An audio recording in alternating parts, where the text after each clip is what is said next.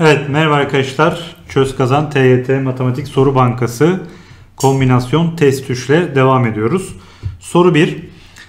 Bir eğitim kurumunda 4 matematik öğretmeni, 3 fizik öğretmeni, 2 Türk dili ve edebiyatı öğretmeni bulunmaktadır. Eğitim kurumu yaz programı için bu 3 dersten pazartesi, salı, çarşamba günleri her dersten her gün bir ders olmak şartıyla kamp yapacaktır. Herhangi bir öğretmen bu kampta 2 gün üst üste olmayacaktır. Buna göre 3 günlük kamp için kaç farklı şekilde öğretmen görevlendirilebilir demiş arkadaşlar. Şimdi pazartesi, salı, çarşamba diyelim arkadaşlar. Şimdi her dersten bir tane olacaktı. Şimdi 4 matematik öğretmeni var. 4 taneden bir tanesini seçtik. 3 fizik öğretmeninden bir tanesini seçtik.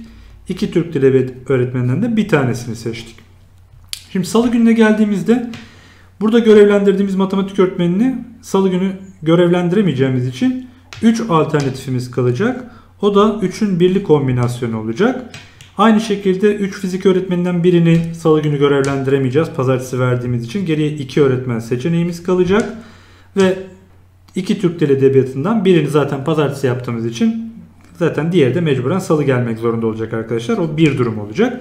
Çarşambaya gelirsek Çarşamba da arkadaşlar salı günü görev verdiklerimize veremeyeceğiz ama pazartesi görev verdiklerimize verebiliriz. Yani yine aslında salı görev verdiklerimizi düşersek yine 3'ün birlisi 2'nin birlisi çarpı 1 olacak. Bakın burayı hesaplarsak 24 burası 6 burası 6 bunları çarptığımız zaman da arkadaşlar cevap 864 yani A seçeneği gelecek. Evet soru 2. 1, 2, 3, 4, 5, 6, 7, 8, 9 kümesinin alt kümelerinin elemanları çarpımı çift sayı olan kümelere çiftlik kümesi denir demiş arkadaşlar. Örneğin işte 1, 2, 3 bir çiftlik kümesidir. Buna göre A kümesinin 3 elemanlı kaç tane çiftlik kümesi vardır? Şimdi burada şunu yapacağız arkadaşlar. 9 tane elemandan 3 tane elemanı kaç farklı şekilde seçebiliriz? 9'un üçlü kombinasyonu.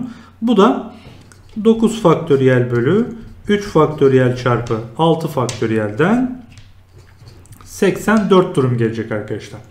Şimdi bu 3 tane elemandan arkadaşlar eğer elemanları tek sayı ise elemanların çarpımı tek olacağı için bir çiftlik kümesi olmayacak. O zaman şurada tek sayı olanları düşünürsek bakın kaç tane tek sayı var? 5 tane tek sayı. Bununla kaç tane 3 elemanlı alt küme oluştururum? 5'in üçlüsü kadar. Bu da arkadaşlar 5 faktöriyel bölü 3 faktöriyel çarpı 2 faktöriyelden 10 gelir. E 84'ten de 10'u çıkardığımızda doğru cevap 74 yani E seçeneği gelir. Soru 3. Şekildeki ABC dikdörtgeninin AB ve CD kenarları üzerinde 7 tane nokta belirlenmiştir diyor arkadaşlar. Tabi burada bir tane nokta fazla gelmiş arkadaşlar. Şu nokta olmayacak. Buna göre 7 tane noktayı kullanılarak oluşturulan doğrulardan seçilen herhangi ikisinin kaç tane kesişim noktası dikdörtgensel bölgenin içinde kalır? Demiş. Şimdi burada şöyle düşüneceğiz arkadaşlar. Bakın ben buradan 2 tane nokta, buradan 2 tane nokta seçtiğimde mecburen onların kesişiminin şu şekilde olması gerekecek arkadaşlar. Yani aslında o seçtiğim 4 tane noktayla hani oluşturulabileceğim dörtgeni düşün. O dörtgenin köşegenlerini seçmem gerekecek iç bölgede kalabilmesi için. O zaman kısaca şöyle diyeceğiz. Yani buradan iki tane nokta seçtik. Buradan da arkadaşlar 3 ta 3 taneden 2 tane seçtiğimizde doğru sonuca ulaşmış olacağız. Bu da 6 çarpı 3'ten 18 yani C seçeneği gelecek. Evet soru 4. Hakan ve Beyhan isimli evli çift ile Ebru ve Gökhan isimli evli çiftlerin ikişer çocukları vardır. Bu evli çiftlerden biri diğerine akşam yemeği için çocuklarıyla birlikte misafirliğe gitmişlerdir. Her annenin bir çocuğu ile yan yana oturması şartıyla yukarıdaki masada hep birlikte yemek yiyeceklerdir. Buna göre kaç farklı şekilde oturabilirler? Şimdi arkadaşlar şöyle düşünelim. İki tane anne var. İki tane anne birer çocuğuyla yan yana oturacağına göre Mesela bir anneyle bir çocuğu böyle oturacak mecburen. Burada ikili oturabileceğimiz 4 farklı durum var arkadaşlar. Bakın şöyle. Şimdi bu 4 farklı durumdan iki tanesini seçtik arkadaşlar. Sonra bu iki farklı yere kendi içlerindeki yer değiştirmesi 2 faktöriyel gelecek. Ondan sonra arkadaşlar tabii şunu yapacağız. Şimdi annenin yanında bir tane çocuğu oturacak. Bakın her ikisinde ikişer çocuğu vardı. O zaman e, yanına seçeceği çocukları iki taneden bir tanesi bu diyelim Beyhan olsun. Öbürü de Ebru için yine 2'nin birlisi olacak arkadaşlar. Sonra bir de arkadaşlar tabi buraya oturdukları anda bir de bunların kendi içlerinde yer değiştirmesi olacak. 2 faktöriyel aynı şekilde Ebru ile çocuğunun kendi içindeki yer değiştirmesi 2 faktöriyel olacak. Şimdi diyelim buraya Ebru ve çocuğu oturdu. Buraya da Beyhan ve çocuğu oturdu. Geriye ne kaldı arkadaşlar? 4 tane yer kaldı arkadaşlar. E 4 kişi kaldı geriye. E bu 4 kişi de buraya 4 faktöriyel şeklinde oturacak. Bakın bunu hesaplarsak 6 çarpı 2 çarpı 2 çarpı 2 çarpı 2 çarpı 2 çarpı 4 faktöriyel gelecek. Bakın şurası 24 yapıyor. Bu da 4 faktöriyeldir arkadaşlar. Burası da 8 yani 8 çarpı 4 faktöriyelin karesinden doğru cevap A seçeneği. Evet soru 5. Bir ülkede araçlara plaka verilirken 3 farklı rakam ve A, E, K, M harflerinden bir tanesi seçilmektedir. Harf rakamlardan önce gelmek şartıyla kaç farklı plaka verilebilir? 3 bir de buraya harf koyacağız arkadaşlar. Yani burası rakam, burası harf olacak. Şimdi tabi burada 10 tane rakamımız var arkadaşlar. 10 tane rakamdan 3 tanesini seçeceğiz. Bir de onlar kendi içinde yer değiştirecek 3 faktöriyel. 4 tane de harfimiz vardı. 4 taneden de bir tane harf seçeceğiz arkadaşlar. Bu da bakın 10, 9, 8 pardon 10 faktöriyel bölü 7 faktöriyel çarpı 3 faktöriyel çarpı 3 faktöriyel çarpı 4. Bakın bunlar gitti. Yukarıda 19, 8 çarpı 4'ten 720 çarpı 4'ten 2880 yani doğru cevap A seçeneği gelecek. Soru 6. Yaşları birbirinden farklı 3 kardeş arasında farklı 7 bilye paylaştırılacaktır. Bu kardeşlerden en küçüğü 3, diğer ikisi en az 1 bilye almak şartıyla kaç farklı şekilde paylaşım yapabilir? Şimdi küçük, ortanca, büyük dedik arkadaşlar. Şimdi buna 3 vereceğiz. Şimdi buna 3 verirsek e, en az 1 bilye buna 1 o zaman bu 3 alacak. Bu 3 buna 2 verirsek bu 2 alacak. Buna 3 verirsek bu 1 alacak arkadaşlar. Çünkü diğer ikisi en az 1 bilye alacaktı. Şimdi burada ne olacak? Bakın 7 tane farklı bilyeydi. 7 taneden 3 tanesini buna verdim. Geriye 4 bilye kaldı. 4 taneden bir tanesini buraya verdim. Geriye kalan da 3 bilye buna gider. Burası da arkadaşlar bu sefer 7'nin üçlüsü çarpı geriye ne kaldı? 4 kaldı yine. 4'ün ikilisi. Geri kalan ikilisini buna vereceğim. Bu da yine 7'nin üçlüsü çarpı 4 tane kaldı. 4'ün 3 tanesini ortancaya verdim. Geri kalan da büyüğe düşmüş oldu arkadaşlar. Bakın 7'nin üçlüsü arkadaşlar 35 gelecek. 35 çarpı 4, 35 çarpı 6, yine 35 çarpı 4. Bunları toplarsak 35 parantezinde 35 çarpı 14'ten arkadaşlar doğru cevap 490 yani B seçeneği gelecek. Evet soru 7. A kümesi 1, 2, 3, 4, 5, 6 elemanlarından oluşuyor. A'nın boş olmayan B ve C alt kümeleri için demiş arkadaşlar. Bakın B ile C'nin kesişimi boş küme olacak. Birleşimi de A kümesine eşit olacak arkadaşlar. Bu koşulları sağlayan kaç farklı C kümesi vardır diyor. E o zaman arkadaşlar şöyle düşüneceğiz. Demek ki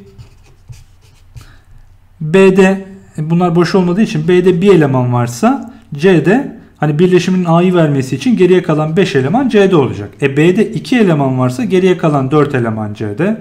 İşte 3 eleman varsa geri kalan 3 eleman. İşte 4 eleman varsa geri kalan 2 eleman C'de. 5 eleman varsa geri kalan bir eleman da C'de olacak. Yani aslında otomatikman ne olacak? C'ye biz ya 5 eleman ya 4 eleman ya 3 ya 2 ya da 1 eleman seçeceğiz. Kaç elemandan? 6'dan. Yani 6'nın 5'lisi, 6'nın 4'lüsü, 6'nın 3'lüsü, 6'nın ikilisi ve 6'nın birlisi olacak arkadaşlar. Bakın bunları hesaplarsanız Buradan cevap 62 gelecek arkadaşlar. Yani doğru cevap D seçeneği. Evet soru 8. Özdeş 10 tane kalem 3 öğrenciye dağıtılacaktır. Her öğrenciye en az 1 ve her öğrencideki kalem sayısı farklı olacak biçimde kaç farklı şekilde dağıtılır diyor. Şöyle düşünelim arkadaşlar. Şimdi birinci öğrenciye 1 verdiğimizde ikinci öğrenciye hiç veremeyeceğimize göre e 1 de veremeyeceğimize göre ne verebiliriz? 2 verebiliriz. O zaman geri kalanı 7 olur. Böyle böyle bakarsak bakın 3 6 4 5 5 4 6 3 7 2 diye gidecek. Yani buradan 6 durum gelecek. Şimdi 2 tane verirsek birinci öğrenciye buraya 0 1 2 0 veremeyeceğiz. 1 verebiliriz. 7 olur. E 2 veremeyeceğiz. Eşit olmayacak. 3'e 5 olacak. 4'e 4 de veremeyiz arkadaşlar. Farklı olacaktı. O zaman 5'e 3, 7'ye birden. Buradan da 4 durum. Bakın 3 aldığımızda 3, 1, 6. 3, 2, 5. 3 veremeyeceğiz. 3, 4, 3 de olamayacağına göre 5, 2, 6 birden.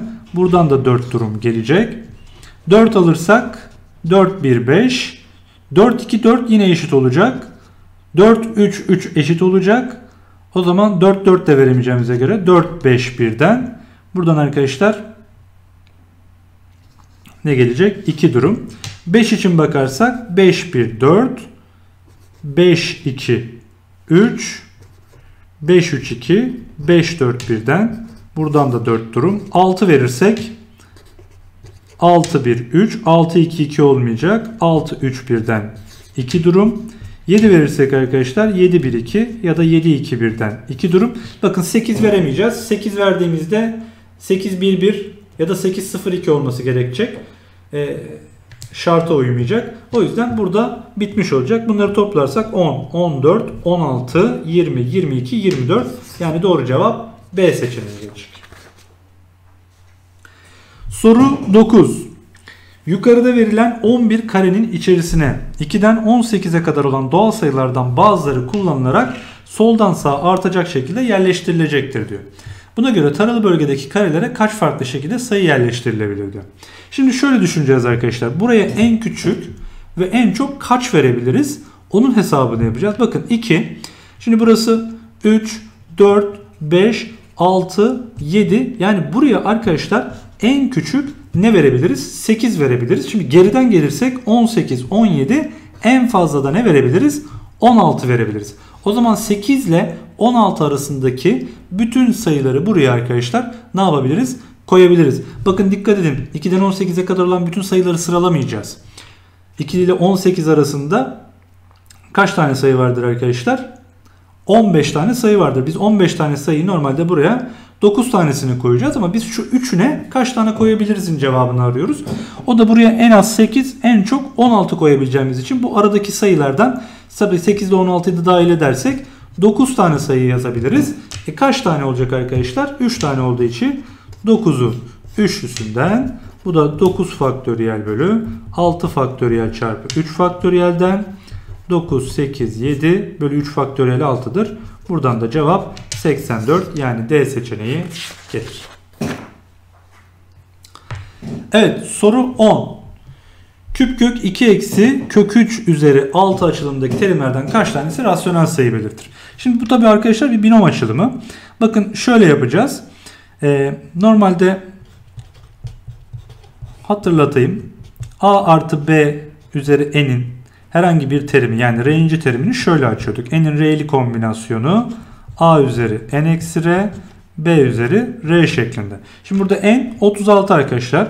Bu küp kök 2'yi 2 üzeri 1 bölü 3 olarak kök 3'ü de 3 üzeri 1 bölü 2 olarak düşünürsek bu arkadaşlar 36'nın r'li kombinasyonu çarpı 2 üzeri 1 bölü 3 üzeri 36 eksi r çarpı eksi 3 üzeri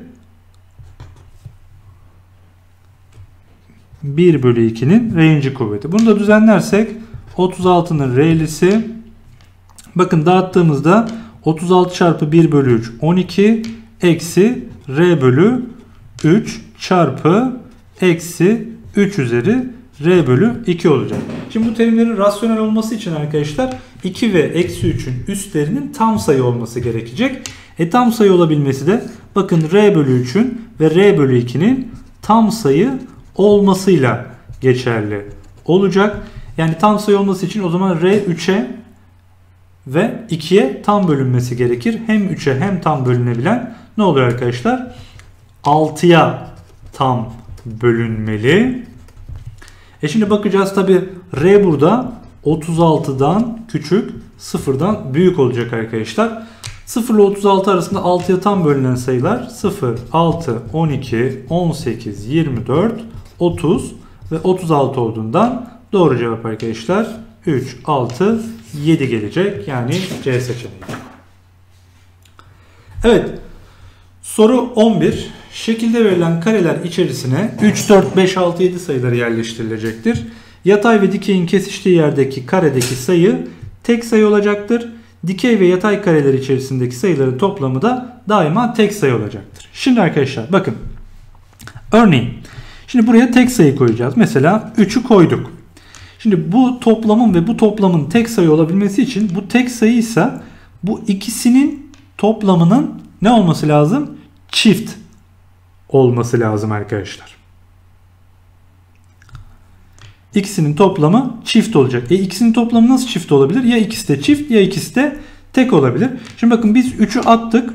Şimdi buraya ikisi de çift olacak. Yani 4 ile 6'yı koyabilirim arkadaşlar. Tabi 4 ile 6'yı e, yer değiştirdiğimizde 2 faktöriyel şeklinde olur. E, o zaman buraya ne koymuş olurum? Bakın 5 ile 7 bunların toplamı da çift.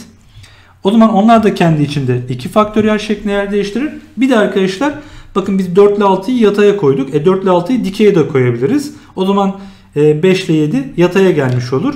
E buradan da 2 faktöriyel gelecek. Yani 3 için 8 durum gelecek arkadaşlar. E ortadaki sayı tek sayı olacaktı. Kaç tane tek sayı var? Bakın arkadaşlar 3 tane tek sayı var. O zaman 8 çarpı 3'ten cevap 24. Yani Denizli gelecek. Ve test 3'ün son sorusu soru 12 arkadaşlar. Bir e, restorandaki yemek menüsü işte çorba, ana yemekler ve tatlardan oluşan menü gösterilmiş. Bu restorandan bir çorba, bir ana yemek ve bir tatlı yiyip maksimum 37 TL ödeyebilecek birisi kaç farklı seçim yapılabilir diyor. Şimdi arkadaşlar şimdi çorba yiyecek düşünün çorba için iki seçeneği var arkadaşlar. Şimdi ikisi de 5 lira olduğu için biz 37'den 5'i çıkarırsak 32 lira kalacak. O zaman ana yemek ve tatlılardan 32 liralık seçim yapması lazım. Bunu da şöyle düşünelim. Bakın 15 lira 15 32'den düştüğümüzde 17 bütün tatlıları yiyebiliyor. O zaman bunun için 4 farklı durum.